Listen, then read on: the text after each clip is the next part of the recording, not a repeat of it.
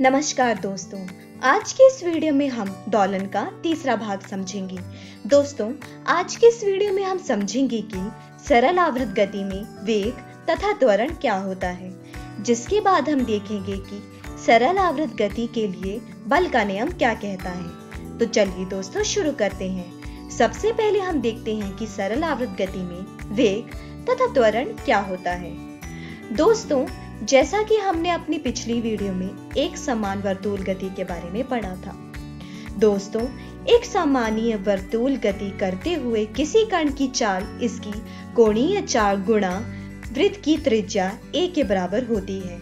मतलब v बराबर है ओमेगा a के। किसी समय t पर वेग v की दिशा वृत्त के उस बिंदु पर स्पर्श सज्जा के अनुदिश होती है, जहाँ कण उस क्षण पर अवस्थित होता है।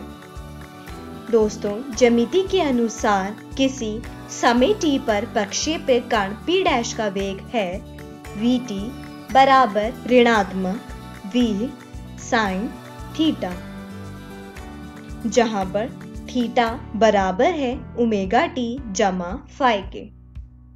तो दोस्तों, इसके अनुसार वी टी बराबर आएगा ऋणात्मक v साइन ओमेगा टी जमा फाइव मतलब ऋणात्मक omega A sine omega T जमा फाइव दोस्तों, यहाँ पर ऋणात्मक चिन्ह ये दर्शाता है कि वी की दिशा x अक्ष की धनात्मक दिशा के विपरीत है। चलिए दोस्तों, अब आगे बढ़ते हैं और देखते हैं कि सरल आवृत गति में त्वरण क्या होता है। दोस्तों, सरल आवृत गति में त्वरण किसी भी केंद्राभिमुख त्वरण द्वारा दिया जाता है।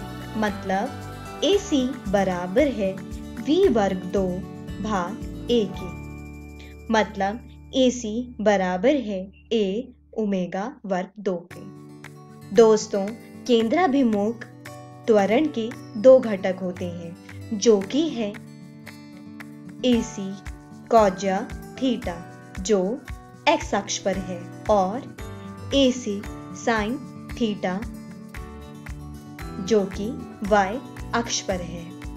दोस्तों, अगर यहाँ पर कला शून्य नहीं है तो त्वरण जो होगा एक्स अक्ष पर वो आएगा ऋणात्मक ए सी कॉजा ओमेगा टी, जमा फाइव मतलब ऋणात्मक, ए ओमेगा वर्ग दो, कॉजा ओमेगा टी, जमा फाइव इस समीकरण को पुनर्व्यवस्थित करने के बाद हमारे पास जो आएगा, वो होगा ऋणात्मक ओमेगा वर्ग दो एक्स टी जो कि त्वरण है। दोस्तों ये समीकरण एक बहुत महत्वपूर्ण परिणाम देता है। इसके अनुसार सरल आवृत गति में कण का त्वरण इसके विस्थापन के अनुक्रमानुपाती होता है। दोस्तों, यदि हम फाइ को बराबर रखें शून्य के तो एक्स टी, वी टी और ए टी के व्यंजक को हम इस प्रकार से लिख सकते हैं। मतलब एक्स टी बराबर है, A cos omega T, V T बराबर है omega A sine omega T और ए टी बराबर है ओमेगा वर्ग दो ए कॉजा ओमेगा टी। दोस्तों, इस ग्राफ में आप देख सकते हैं कि सरल आवृत गति में किसी कण का विस्थापन, वे तथा त्वरण का आवृत काल टी समान होता है, लेकिन उनकी कलाओं में भिन्नता होती है। इसमें सभी राशियाँ समय के साथ ज्यावक्रिय विचरण करती हैं। केवल उनकी उच्चिष्ट में अंतर होता है, तथा उनके आलेखों में कलाओं की भिन्नता होती है। मतलब x ऋणात्मक a तथा a के मध्य विचरण करता है।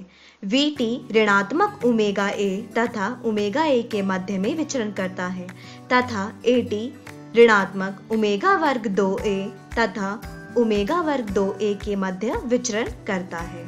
विस्थापन, आलेख के सापेक्ष वेग, आलेख की कला में पाए भाग दो का अंतर है, तथा त्वरण आलेख की कला में पाए का अंतर है। चलिए दोस्तों, अब आगे बढ़ते हैं और देखते हैं कि सरल आवृत गति के लिए बल का नियम क्या कहता है। चलिए इसे एक उदाहरण से समझने की कोशिश करते हैं। दोस्तों, मान लीजिए ये कोई एक गुटका है, जो कि कमाने से संलग्न है, और इसका एक सिरा दीवार से लगा हुआ है।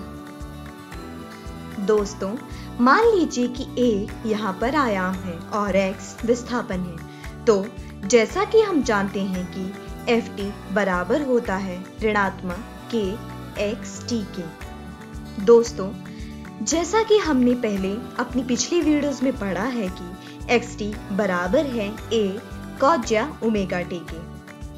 और हम ये भी जानते हैं कि त्वरण बराबर होता है ऋणात्मक ए ओमेगा वर्ग दो कॉज्या ओमेगा टी के। तो इसके अनुसार हमारे पास त्वरण है ऋणात्मक ओमेगा वर्ग दो एक्स के। दोस्तों, न्यूटन की गति के दूसरे नियम तथा आवृत गति करते हुए किसी कण के लिए त्वरण के व्यंजक का प्रयोग कुछ इस प्रकार से दिया जाता है। जो कि है एफ़ टी बराबर एम ए के जहाँ पर एम भार है तथा ए त्वरण। है तो दोस्तों, समीकरण एक तथा तीन के अनुसार हमारे पास के आएगा। के बराबर एम उमेगा वर्ग दो। मतलब उमेगा बराबर है घन मूल के भाग एम के। दोस्तों, त्वरण की तरह बल हमेशा माध्यम स्थिति की ओर निर्दिष्ट रहता है। दोस्तों, जैसा कि आप समीकरण एक के अनुसार देख सकते हैं कि बल एक्स टी के समानुपाती है। दोस्तों, जब बल x के समानुपाती होता है तो इसे रेखिक आवृत्ति दौलक कहते हैं। बल्कि, दोस्तों, जब f xt के समानुपाती नहीं होता है तो इसे हम अरेखिक दौलक गति कहते हैं। तो दोस्तों, आज की इस वीडियो में हमने सरल आवृत गति में वेग तथा त्वरण क्या होते हैं उसके बारे में पढ़ा। जिसके बाद हमने सरल आवृत गति में बल का नियम क्या होता है वो पढ़ा। अगली वीडियो में हम सरल आवृत गति में ऊर्जा के बारे में पढ़ेंगे और यह भी देखेंगे कि सरल आवृत गति निष्पादित करने के लिए कुछ निकाय कौन कौन से होते हैं। दोस्तों, मैं आशा करती हूँ आपको ये वीडियो समझ आया होगा। तब तक आप अपनी पाठ्य पुस्तक से इन सारे विषयों को दोहराने की कोशिश कीजिएगा। धन्यवाद।